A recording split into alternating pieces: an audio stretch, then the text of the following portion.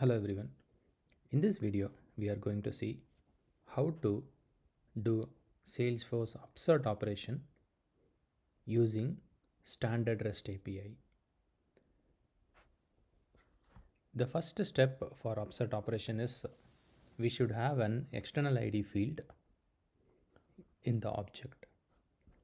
Uh, for this demo, I'm going to make use of account object. So I created an external ID field with the label account external ID and the API name is account underscore external underscore ID underscore double underscore C. I made this field as external ID field. I'm going to update this particular account record with external ID value 12345 from Salesforce REST API.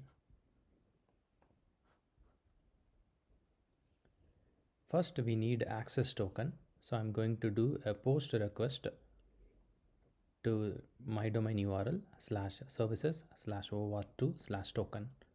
Once we do a post request with the client ID, secret and grant type, we will be able to get the access token.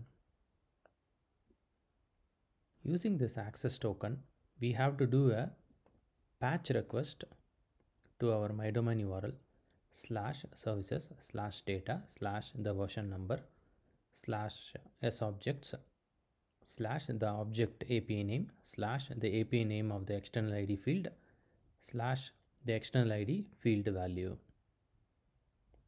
In the header, we have to pass authorization as the key and in the value, we have to pass bearer space the access token which we got it in the previous request. In the body, we have to pass the field API name and its value.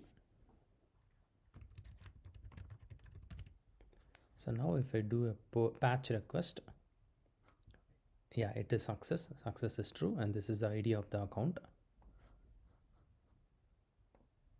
So now if I refresh the account, I should be able to see the changes.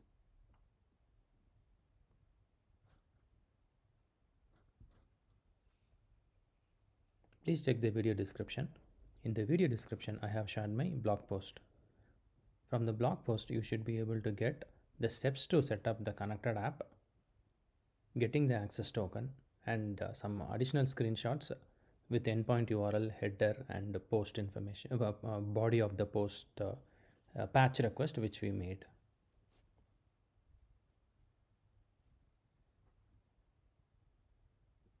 I hope it was helpful.